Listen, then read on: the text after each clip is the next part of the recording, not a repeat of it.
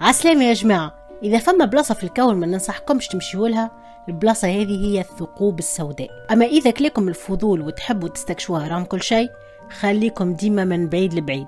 على خاطر الأماكن هذه اللي داخلها مفقود واللي بعيدة عليها أمه دعيت له بالخير. الثقوب السوداء غولة تبلع كل شيء يقرب منها برشا. إذا الشخص صحح راسه ما سمعش الكلام وقرب من واحد من هالثقوب أكثر من اللي يلزم ليا وليه ربي. ما عنده حتى حل باش ينفذ بجلده. يطيح في بير غارق حتى حد ما يعرف فين يهز. وهو طايح يبدأ يعيط. يا اينشتاين جريلي يا هوكينج جريلي معمول لكم الرب ماني خوكم يجاوبوه ويقولوا له يا ولدي شم هزك. ما نقولنا لك ما نوصيناك ما تقربش ياسر. توا مش كان تعيط لجن لرقط حتى حد ما يجم يطلعك. قوانين الفيزياء كاملة. ما تنجمش تعاونك ولا حتى تقولك فين ماشي. الغول بالعك بالعك. والله أعلم فين باش يهزك. يهزك للدنيا الأخرى الكون آخر الأبعاد أخرى. الله أعلم. في الحلقة هذه باش نحكي لكم على أسرار الثقوب السوداء. مناش متكونة. وعلاش اللي يطيح فيها ما يجمش يخرج. كيفاش العلماء اكتشفوها وعلاش قوانين الفيزياء عاجزة إنها تقول لنا هالثقوب فين تهز. لكن قبل ما نقزوا مع بعضنا في ثقب أسود وننطلقوا في الحلقة. subscribe partage like العلوم بالفلاقي مع بعضنا نشر المعرفة. الثقب الأسود هو عبارة على بقعة في الفضاء الجاذبية فيها خيالية. بلاصة في شكل كروي الحد البراني متاعها يتسمى أفق الحدث Event Horizon. الحد هذا والكرة هذه أصلا مش حاجة ملموسة أو مادية وإنما منطقة كروية الشكل أي حاجة تدخل فيها ما عادش تنجم تخرج. حتى الضوء ما ينجمش يخرج منها. على هيك البلاصة هذه من برا تظهر لنا ظلمة تحيس في قلب الكرة هذه الغير ملموسة نلقاو نقطة لا متناهية في الصغر يسميوها العلماء المتفردة singularity. شنو هي بالضبط المتفردة؟ ما نعرفوش. العلم الرياضيات والقوانين الفيزيائية كما نعرفوهم اليوم ما ينجموش يجاوبونا على السؤال هذا. بالضبط كما القسمة على صفر.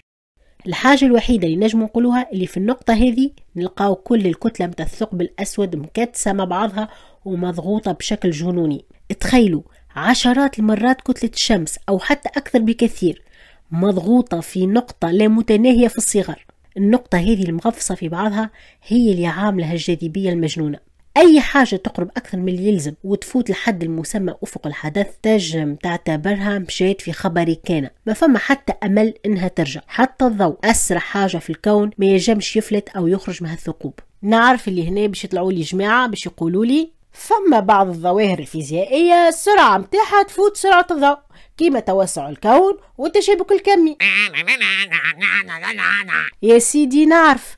أما هذه حكاية أخرى نوعدكم نحكي لكم عليها في حلقات مقبلة المهم توا لازمنا فقط نتفقوا على أنه في الفراغ سرعة الضوء ثابتة وما فما حتى جسم مادي يجم يفوت هالسرعة هذية في الفراغ.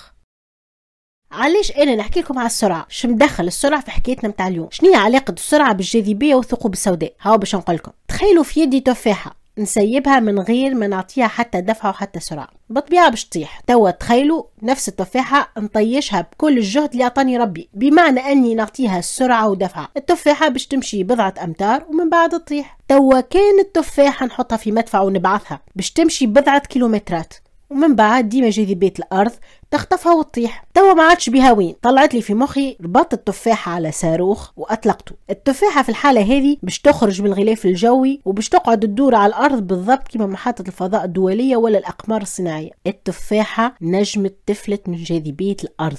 شو نفهموا من الحكاية هذه؟ نفهموا اللي فما سرعة محددة اسمها سرعة الإفلات. أقل منها الأجسام تمشي تمشي لكن ديما في الآخر جاذبية الأرض ترجعها وتطيحها. وأكثر منها الأجسام تتحرر وتفلت مع الجاذبية اللي رابطتنا. سرعة الإفلات نتاع كوكب الأرض 11.2 كيلومتر في الثانية. معناها هاو في بالكم. إذا نهار واحد فيكم حب ينطلق للفضاء. لازم يقرا حسابه وياخذ في اعتباراته سرعة الإفلات. ما كانش راهو ما عنده فين يوصل. يطلع يطلع ومن بعد جاذبية الأرض تخطفه ويجي مفروش الجدير بالذكر اللي سرعة الإفلات تختلف من كوكب إلى كوكب ومن نجم إلى نجم. على قد ما تكون جاذبية الجسم السماوي كبيرة على قد ما يكون الإقلاع منه صعيب وبالتالي سرعة الإفلات باش تكون أكبر. على وجه المقارنة سرعة الإفلات نتاع الشمس 617 كم في الثانية القمر 2.38 والمريخ 5 كم في الثانية. هو في الحقيقة سرعة الهروب أو الإفلات نجم نحسبوها عن طريق معادلة معروفة من وقت نيوتن تفاحة والقوانين متاعه. لكن باش ما نعقدش عليكم الأمور يكفي فقط إنكم تفهموا اللي الجاذبية وسرعة الإفلات مربوطين ارتباط وثيق بالكتلة والقطر متاع الجسم السماوي. إذا كتلته أكبر برشا أو قطره صغير برشا هذا باش ينعكس على سرعة الهروب اللي باش تولي كبيرة برشا. على أرض الواقع الكلام هذا معناها على قد ما يكون الجرم السماوي رزين ومضغوط ومتكوك في بعضه على قد ما تكون جاذبية متاعه قوية وسرعة الإفلات منه كبيرة. الحكاية هذه فهموها العلماء عندهم أكثر من 200 سنة. في أواخر القرن 18 زوز فلكيين واحد إنجليزي اسمه جون ميشيل والآخر فرنساوي اسمه بيير سيمون دو لابلاس استندوا على حكاية سرعة الإفلات باش يجيبوا فكرة ثورية. قالوا لك يا سيدي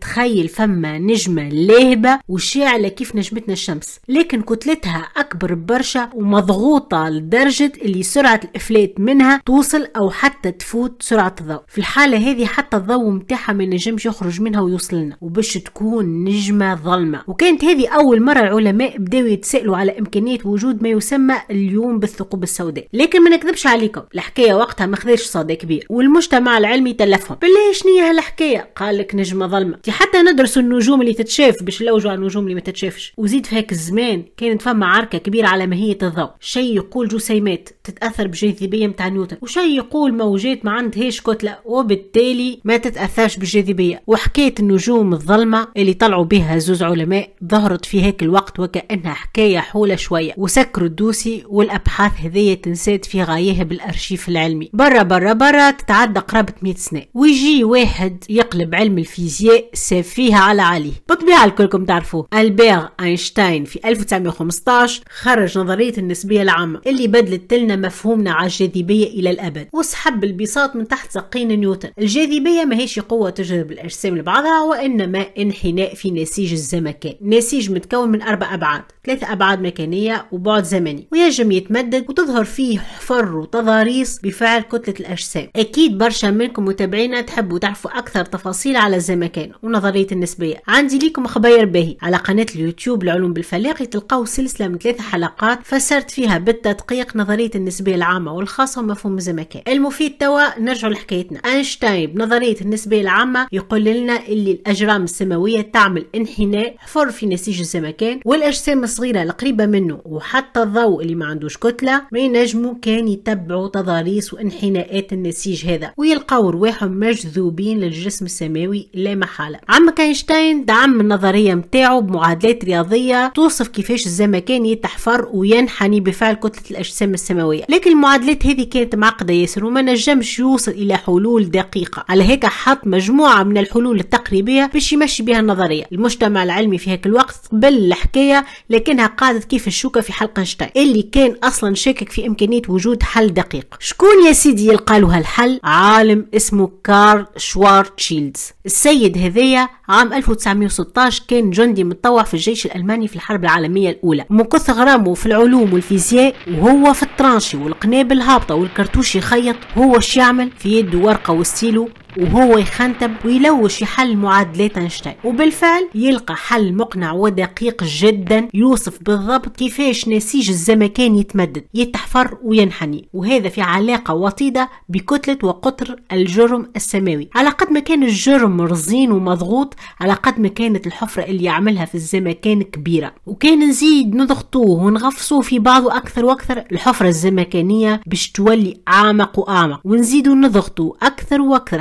حتى لين نوصلوا لحد نسيج الزمكان يتحفر ويتشوه إلى ما لا نهاية. باش نسهلوا المفهوم هذا نجم نقولوا إن نسيج الزمكان يتنقب. والأجسام وحتى الضوء ما عادش يجموا يفلتوا من هالثقب إذا دخلوا فيه. وهذا بالضبط ما يسمى بالثقب الأسود. كارل شوارشيلد من خلال المعادلات متاعو اكتشف اللي أي جسم إذا ضغطناه بصورة خيالية فما حد إذا وصلنا له الجسم هذا يشوه الزمكان لا نهائيا ويتحول إلى ثقب أسود. الحد هذا اسمه شعاع أو نصف قطر شوارشيلد بالطبيعه نصف قطر شوارشيلد يتغير على حسب الكتلة اللي تحب تضغطها على قد ما الكتلة صغيرة على قد ما القطر صغير. مثلا إذا تحب تحول الشمس إلى ثقب أسود لازمك تضغطها وتغفصها حتى قطرها يولي في حدود مدينة ولا قرية صغيرة. وإذا تحب تحول الأرض إلى ثقب أسود لازمك تضغطها وتردها في كبر كعبة زيتون. شكون كيفكم؟ حصريا على قناة العلوم بالفلاقي. اليوم نعطيكم الغوسات باش تعملوا ثقب أسود دياري يعمل 66 كيف. أي مادة عندكم في الدار ما تقلقوش رواحكم كل قدير وقدروا. تاخذوا هيك المادة وتبداو تغفصوا فيها تضغطوا فيها تغفصوا فيها. كي توصلوا للمفيص قطر شوارشيد تكونوا تحصلتوا على ثقب أسود. بالشفاء والهنا لما حاله بالشفاء والهنا للثقب مش ليكم. على خاطر أكيد هو اللي باش يبلعكم. هاي الحكاية طلعت سهلة. ما علاش هاو عملوا تلسكوبات هاو قعدوا يلموا في التصاور درا قداش من عام باش في الأخر يخرجونا بتصويرة متاع ثقب أسود. كيف إحنا عنا الروسيت؟ علاش ما نعملوش ثقب أسود صغير في المخابر وندرسوه على راحتنا؟ على خاطر في الحقيقة أصدقائي الحكاية هذه سهلة نظريا لكن في التطبيق حكاية أخرى. إذا تاخذوا مثلا 80 كيلو فارينة باش تحولوهم لثقب أسود لازمكم تضغطوهم وتغفصوهم في جزء من أجزاء من أجزاء من أجزاء من أجزاء متاع الذرة تجموا وحدكم تفهموا اللي الحكاية هذه صعيب شوية نعملوها في الكوجينة متاع الدار. أي سيدي هالعالم الفذ كارل شوارشيلد كيف لقالنا هالوصفة الغريبة وحل المعادلات متاع النسبية العامة. كتب الكلام هذا الكل في جواب وبعثه لأينشتاين. عمك الباغ كيف قراه الكلام تبهر بدقة المعادلات وفرح برشا اللي جاه الحل على طبق والنظرية متاعه باش تزيد تقوى. لكن كان رافض تماما لحكاية الثقوب السوداء والتشوه اللانهائي للزمكان. بالنسبة ليه الطبيعة ما تجمش تسمح بوجود أجرام كيما هكا. قال معناها نضغطوا المادة؟ نضغطوا المادة مسيب غريبة الدنيا هي. المادة ما عندهاش مالي يسأل عليها. للضغط حدود. تضغط تضغط تضغط. أكيد باش توصل لمرحلة المادة ما عاد فيها ما تضغط. والقطر اللي يحكي عليه شوارشيلد مازلنا ما وصلنالوش. يعني بالنسبة لأينشتاين مستحيل نخلطوا للمرحلة إنه النسيج الزمكاني يتشوه لهالدرجة اللانهائية. المهم يا سيدي في هيك الوقت العلماء وعلى راسهم عمك أينشتاين ما عجبتهمش فكرة الثقوب السوداء واعتبروها مجرد نظريات رياضية لا علاقة لها بالواقع. الواقع وكارل شوارشيلد مسكين مرض بمرض خطير وهو عالجبهة في الحرب توفى والحكاية تنسات مرة أخرى. وتتعدى سنين في عشرينات القرن الماضي يظهر علم فيزيائي جديد اسمه ميكانيكا الكم العلم اللي يدرس القوانين الفيزيائية على مستوى الذرة ومكوناتها. الذرة أيوة افتكرت. بتاع السنة رابعة. أيوه يا فندم. بتاعت رابعة أول. الذرة آه اللي هي لما يبقى في بتاعة كده تيجي بتاعة تانية. تقوم تيجي بتاعة جنب البتاعة الأولانية. تقوم تيجي بقى البتاعة الأولانية ما تقعدش بقى مطرحها تروح عند بتاعة رخرة التانية رخرة ما تستناش.